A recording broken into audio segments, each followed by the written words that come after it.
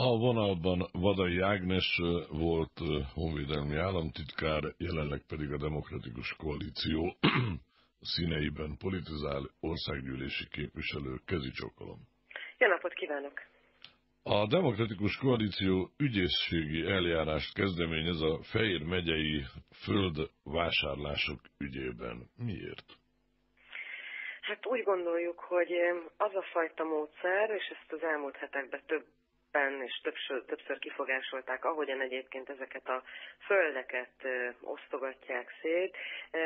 Ez e körül valami nincsen körül valami nem tiszta. Maga a korábbi vidékfejlesztési államtitkár Ányán József is világosá tette, hogy ez a fajta módszer, ahogyan egyébként itt Fidesz közeli érdekeltségű személyeknek, és ezt nem én mondom, az Origó tényfeltáró újságírói ezt leírták, szóval a Fidesz közeli cégeknek osztogatták szét, miközben a helyi gazdák egyébként nem kaptak lehetőséget, nem kaptak földet. Ez, ez nem egy helyes út. Ebben valamiféle vizsgálatot kell végrehajtani. Mi úgy gondoljuk, hogy ez ügyés ügynökség lesz erre a, a, a legalkalmasabb. Nem egy vizsgáló bizottság feltétlenül, amit mondjuk éppen egy kormánypárti képviselő vezet, hanem, hanem az ügyészség vizsgálja meg ezt a dolgot. Mert hogy Egyébként nem Fejér megye az egyetlen ilyen problematikus megye. Én magam Jász-Nagykunszolnok megyei vagyok, és hát ott is tapasztaltam már, már induló ilyen problémákat, úgyhogy feltétlenül itt Fejér megyében kiteljesedett az ügy láthatóan, hatalmas területek jutottak az Orbán ZRT-hez. Éppen ezért borzasztóan szükség lenne arra, hogy legalább más területeken elejét vegyük, ennél az ügynél pedig hát azoknak adjuk a földet, akik valójában ezt megművelik. Nem az Origó az egyetlen egyébként, aki erről írt, hiszen korábban több sajtóorgánum is beszámolt arról, hogy ki mindenki és hogyan kapott földterületet, akik Orbán Viktor környezetében dolgoznak, Orbán Viktor mellett vannak, és hogyan nem kapnak földterületet azok a gazdálkodók, akik valóban tényleg ebből élnek, és a föld elvesztése nem csak azzal jár, hogy nem tudják végezni a munkájukat, hogy nem lesz nekik többet megélhetésük, hanem akik Európai Uniós forrásokat kaptak, azoknál akár ez, ez komoly, nagyon komoly veszteséget is fog jelenteni, mert hogy majd bizonyos összegeket vissza kell fizetni. Úgyhogy én azt gondolom, hogy ez mindannyiunk érdeke, a kormány érdeke is, hogy ebben tisztán lássunk. Na de ugye csak hogy kicsit konkretizáljuk, Fejér megyében arról van szó, vagy most arról van szó, hogy Fejér megyében 5000 hektárnyi területet hirdettek meg, és ennek közel 90%-át a Nemzeti Földalap pályázatán a hát Fidesz közelinek apostrofált cégek, magánszemélyek vitték el. Tehát egyszer már a bíróság döntött arról, hogy ilyen, hogy Fidesz közeli, ilyen nincsen.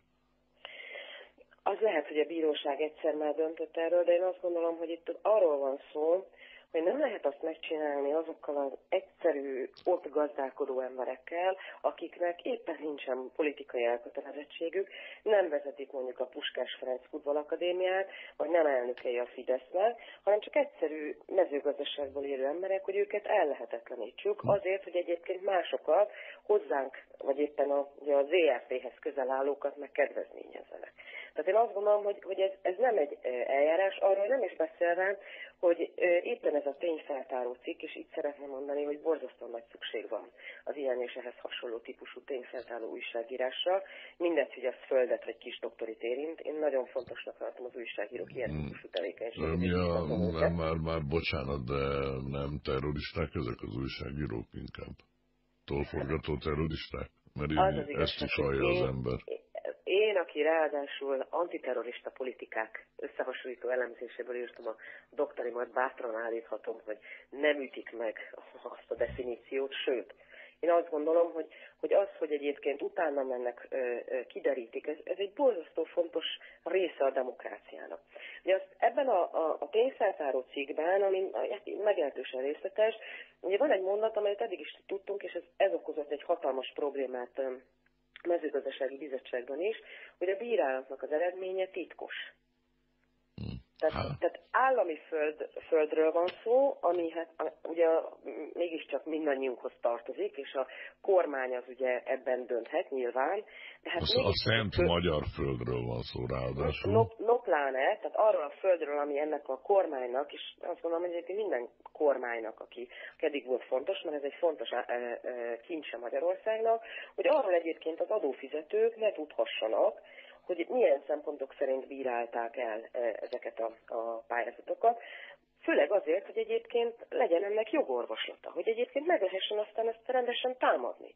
Hát egy demokráciában, és ugye innentől kezdve kezdődnek ám a problémák, tehát ugye, mert hogy egy demokráciában azért nem úgy van, hogy jön valaki, azt mondja, hogy akkor ez a tiéd, ez a föld. Hát ott kell, hogy legyenek objektív kritériumok, és aztán természetesen kell, hogy legyen fellebbezési lehetőség, ahol egyébként ki elmondhatja a maga véleményét. Tehát ez a demokrácia. Igen, hát az... ráadásul ez a kormány ugye azzal indult, hogy szemben a elmúlt nyolc év, stb. stb. tudjuk a leckét, tel szemben, ők most a helyi helyben élő mezőgazdasággal foglalkozó gazdákat fogják kedvezményezni. Ehhez képest például a legnagyobb, negyedik legnagyobb terület 285 hektár egy nádarató tetőfedő vállalkozónak jutott. Hát igen, aki a információ szerint hát nincsenek is földművelésre alkalmas eszközé. Az az igazság, hogy amikor az elmúlt nyolc évben is a mezőgazdaságról beszélgetünk, akkor nagyon-nagyon sok embert azt hiszem, hogy megtévesztettek egyébként azok a kollégák, akik most a kormányban ott üldögélnek és hmm. védik a magyar nem, földet. De, de nem mondja tényleg megtévesztettek. Meg, én azt gondolom, és nagyon sokan hittek is egyébként ezeknek az embereknek, hiszen évekig akár együtt is dolgoztak, és elhitték, hogy egyébként mi, akik akkor abban a nyolc évben kormányoztunk, nyilván mindenkinek az ellenségei voltunk, hát legfőképpen a népi és ugye a földé, de hogy majd itt jön egy új kormány. És most azzal kell, hogy szembesüljenek ezek az emberek, akiket egyébként hitegettek, hogy persze, ti végezhetitek tovább a munkátokat, és lesz föld, a, amin, amin dolgozhatok, hogy lényegében csak kihúzzák a lábukkal a, a talaj, de szó szerint. Nem, igen, de hol itt a bűncselekmény? Írtak egy pályázatot, így sikerült elbírálni. Mi a bűncselekmény? Mert ugye önök az ügyészséghez fordultak. Látatlanban mondom, hogy hamarosan megkapják a levelet feljelentés kiegészítésre, mert amit eddig írtak, abban az ügyészség nem talált bűncselekményt. Fogadunk? Nyilván el tudom képzelni. Azért szeretném azt remélni, hogy az ügyészség berkein belül is vannak és dolgoznak tisztességes emberek, tisztességes ügyészek, akik az esküjükhöz híven járnak el, és nem politikai motivációk alapján.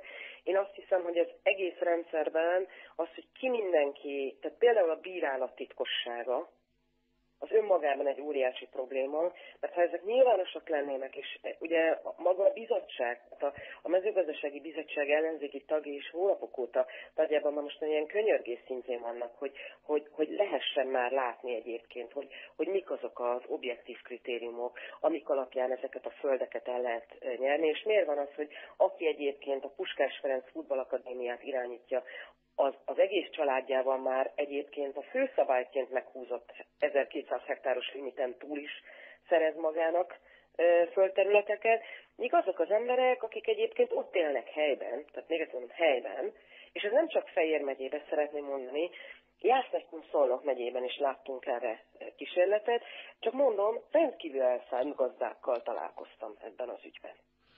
Hát akik ahol... azt mondják, hogy ők rengeteg pénzt nem csak uniós pénzt, saját pénzt is belefektettek ebben, mert ők úgy gondolják, hogy Magyarországnak kell a modern magyar mezőgazdaság, legyen az növénytermesztés vagy állattenyésztés. Én magam egyébként mezőgazdasági családból származom. Én ellentétben sok jelenlegi mezőgazdasági vezetővel címereztem, szedtem szegfűt gyerekkoromba, tehát törtem kukoricát. Tehát szeretném mondani, hogy tudom, hogy milyen brutálisan nehéz volt. Az egész családom férfi ága mezőgazdaságba dolgozik, és tudom, hogy milyen nehéz ez a munka, amikor hajnalba kell kelni, és véres merítékkel kell egyébként művelni a földet, és foglalkozni az állattal, és ott nincsen karácsony, nincsen húsvét, hogy ezektől az emberektől akik az elmúlt években az uniós csatlakozás óta most már technológiailag is képesek voltak újabb és újabb dolgokat felépíteni, egyszer csak jön egy új kormány, aki azt hirdeti, hogy persze a helyben lakó, mert a helyben gazdálkodót támogatjuk, de egyébként pedig a pályázati rendszere nem elég, hogy titkos az elbírálások tekintetében, hanem egyébként még teljesen méltánytalan a, a, az ott élőkkel szemben, akik lényegében semmilyen eszközzel nem rendelkeznek egészen pontosan egy eszközzel rendelkeznek, ez pedig a nyilvánosság ereje. Hmm. Tehát előbb-utóbb erre valakinek válaszolnia kell. Köszönöm szépen. Hogy miért így? Köszönöm szépen Vadai Ágnesnek, a Demokratikus Koalíció képviselőjének, hogy itt volt viszontállásra.